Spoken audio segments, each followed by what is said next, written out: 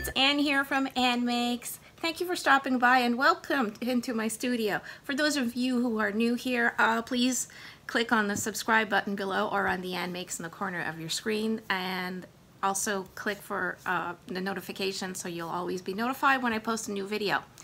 Today I am sharing a DIY with you and I just wanted to kind of give you a look into how it is that I store my steel dies for cutting and embossing and paper crafting. And specifically, I want to show you how I am storing uh, one brand that I use and I use in my work uh, regularly. And of course it is the Cricut brand. Cricut's not sponsoring this video today, but uh, since I do work with them and I do have a lot of their products, it's important for me to kind of keep that that brand uh, identified as, as separate from the other bra other brands that I have for my personal use. So this is just a system that I use, but this is definitely a system that you can use for any brand of steel dies that cut and emboss or just cut, whatever. Uh, so don't don't worry if you're gonna say, well, I don't have any of that brand that she has. Uh, no, this works with all brands of steel dies. And by the way, all brands of steel dies, most of them, I have to say most of them because I'm pretty sure most of them are uh, come back, if not all of them. I would think, I would like to tell you all of them are, but actually I have to say most of them are compatible with the Cricut Cuttlebug die cutting machine any manual or electric die cutting, which is a system of rollers uh, machine, works with all dies. So uh, if you're interested in seeing how I put these together, stay tuned and you might want to grab a cup of tea or coffee or drink. Uh, you know, that's this is one of those videos that you may want to pause and repeat or just, you know, watch watch over again. So I know today I'm drinking uh, a, a new to me tea. I've been drinking this for about a week and my son too. And it's, um, it's this tea. Uh, this company sent me their tea from, it's called Teami, and this one is called Focus. And they noticed I was, I'm a tea drinker and they said, oh, would you like to try this and, you know, show it in your videos if, if you like it. And actually, I do like it. Um, and so, yeah, I've been drinking this. And I the one I have here is called Focus Tea. And it's really yummy. Um, there has a peppermint flavor to it. And I find that in the afternoon, I get a little down, a little tired. And this is just like it just perks me right up. So uh, if you're interested in trying this tea, you know, you're under no obligation, I have a discount code for you and it's also an affiliate link code and I will include that in the description below in the video. So uh, let's get back to how do I make these storage things for my dies. So the first thing I wanted to show you is the area in my studio where I store my steel dies. So if you've seen uh, my video on my new studio tour 2018 update and how I store my Cricut products, uh, you will have seen a glimpse of this. But for today, we're just going to focus on the dies. So here is the cupboard where I store my dies.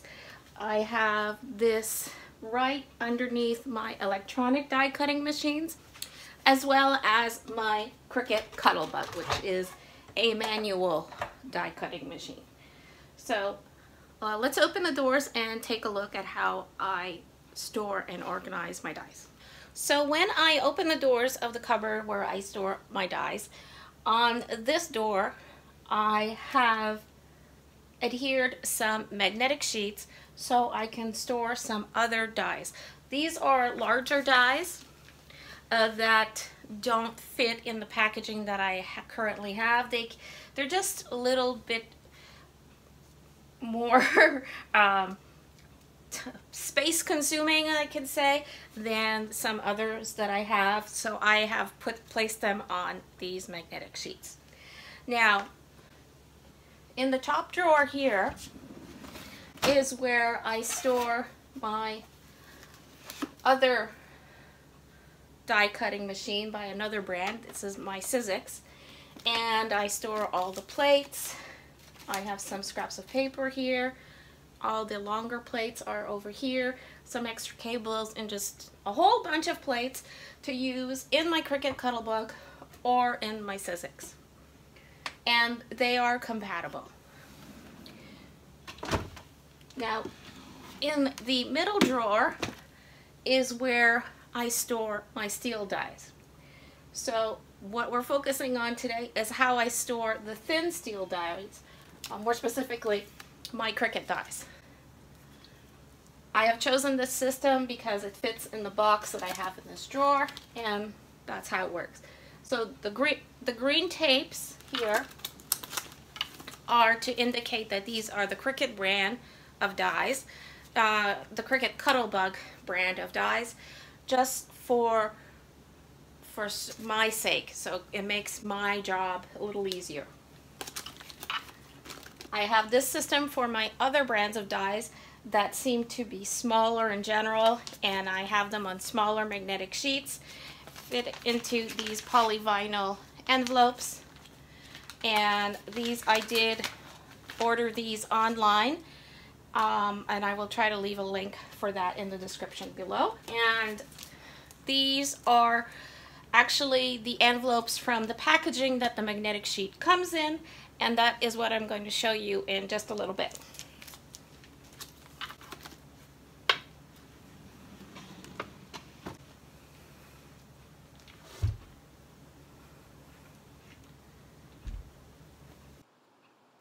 So here are several of the Cricut Cuttlebug brand of steel dies that I have.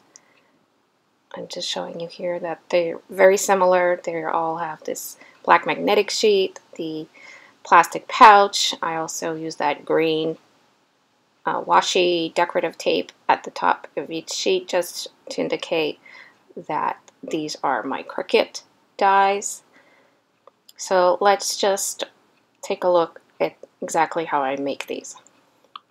First, I use these adhesive magnet sheets um, the Crafter Square brand. I buy these at the Dollar Tree.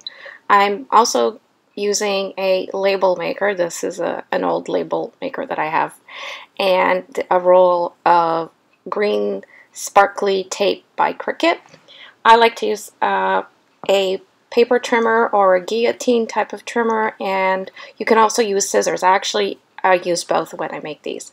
I'm just showing you that to begin I just trim off the very top of the packaging that the magnet sheet comes in, but I leave that kind of glued type of line there. It just acts as the closed end of my envelope.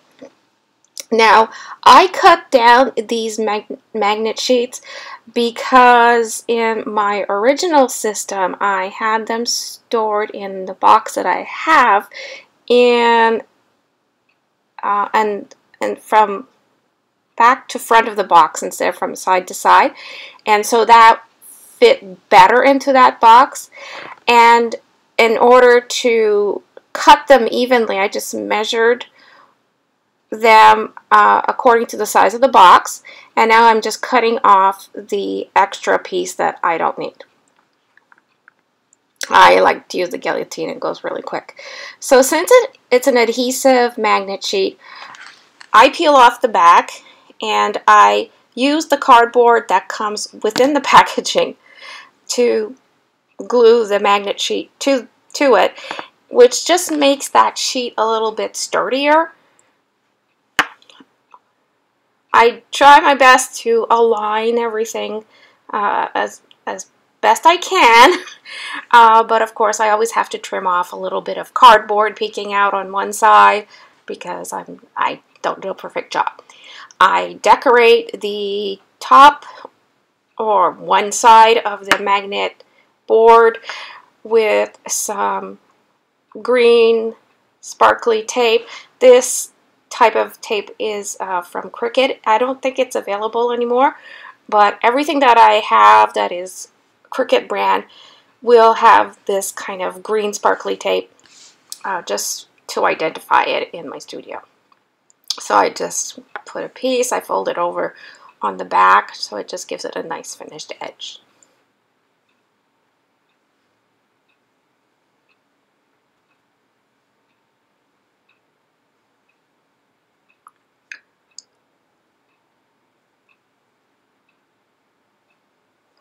So this is the original packaging that this die came in. And I just open it up take the pieces out and now I'm just showing you that the whole packaging is bigger than what I need. So that's why I, I do this system. So I've taken the magnet the dies off I've taken the dies out of the package and uh, now I am trimming the package backing itself just so I can keep uh, some important information within the plastic envelope with the dies for future reference. I then take the label maker and I proceed to print out a label that has the name and brand of die, also its item number, that's something that's important for me to know in my work, and uh, finally, one more thing that I always add is the number of pieces that come in each die set. So that way it's, it's easier for me to make sure I put all the pieces back together in the envelope and that way I don't accidentally lose some other dies.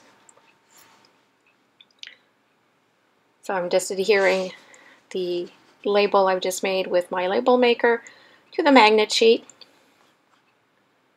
Now I'm placing the dies so they fit onto the sheet and it's pretty pretty easy. Uh, the magnet is, is quite strong. It's perfect for holding all the dies. I have not lost any dies so far been using this system for a few years now. Once all the dies are on the magnet sheet, I will just slip the entire magnet sheet uh, back into the plastic packaging that the magnet sheet came in. Um, the plastic itself is very good, so that's why I'm doing that.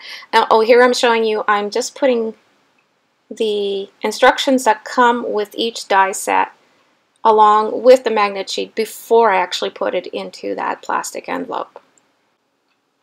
An alternative to reusing the packaging as I have done is to find some polyvinyl envelopes uh, like I did online. I will leave uh, the link to where I found the other ones that I have purchased.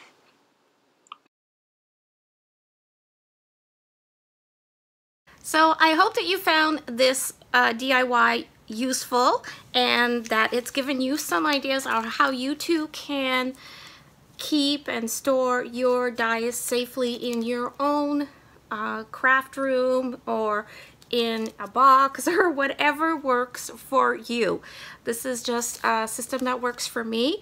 I love using the magnetic sheets. I find that my dies are secure in this system and they're easy for me to find when I need to work on I want to work on a project whether it's for my personal use or it is for my job. Uh, so thank you so very much for watching. I would so appreciate a thumbs up if and if you like this video of course please say so. And uh, I would like you to comment. Please share this video if you'd like. And don't forget to check out uh, the discount code I will be providing for you in the description below for this Teami Focus tea that I am enjoying drinking lately. And also I will try to embed this video into a blog post on my blog at annmakes.blogspot.com. So just in case you don't have the time to get all the information you need from this video, uh, there will be some more information in that blog post. Thank you so much for watching and stay crafty. Bye!